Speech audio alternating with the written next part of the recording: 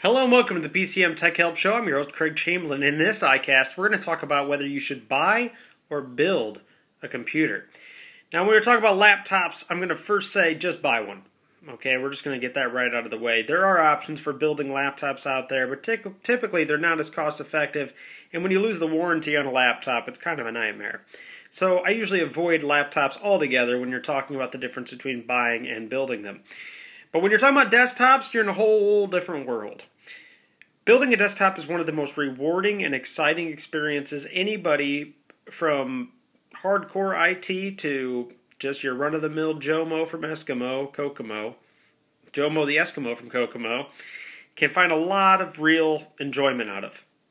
I mean, it's one of those things where you get to start from the beginning, put it all together, and you get to see a product come to fruition.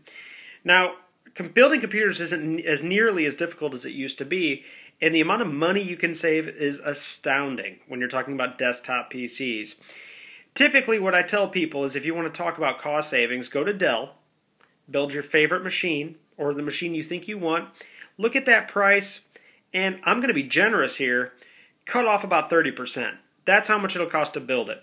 So you're talking about saving at least 30% in build, and not to mention you're familiar with the hardware and you're a lot more comfortable to work with it.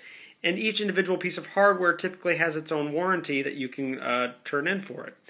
Not to mention the hardware you're going to use on a build is going to be much, much more reliable and much less, let's say, I don't know, mass produced in Chinese and not really focused on high quality. Also, the hardware you're going to buy is going to be extremely upgradable.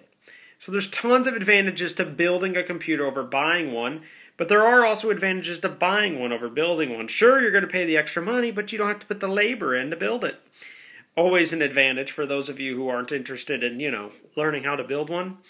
Uh, you don't risk buying hardware that might fail, and then you'll have to deal with the consequences when you're talking about building. You're talking about dealing with individual manufacturers, which while is great to have individual manufacturer warranties, you can't just call up the support line for that computer and ask questions about that build. You're going to have to do some research yourself in order to move forward with that. Also, with building computers, one of the advantages, uh, well, and one of the advantages is basically simplicity. You know what I mean? Ease of use. Many times on the standard computers you're used to buying over the counter, the operating system's already installed, the software's already on there that'll do what you want it to do, and you don't have to worry about tackling all those, you know, issues when they come up. Now you will save a truckload of money if you decide to build, and so that's kind of what this video is addressing. Is it worth buying or not? Well, it depends on buying or building. It depends on the person you are. Personally, I think everybody should build a computer at least one time in their lives because it is a fun and rewarding experience. And I think once you've done it once, you realize how easy it is to do it. Plenty of resources out there on how to build a computer, plenty of places to research how to do certain things. And for the most part, computers really, once you've picked out the hardware and bought it, they go together like easier than Legos. Like everything only fits in one location. The jacks and things like that are all connected and only, you know, they only slide in, the memory only slides into certain slots. The connectors for hard drives only slides into certain slots. All the CD-ROMs only slide into certain slots. They all come with manuals. They all come with guides. It'll be a learning experience, yes. The hardest part's probably going to be installing the processor. And anymore, they've pretty much streamlined that whole process.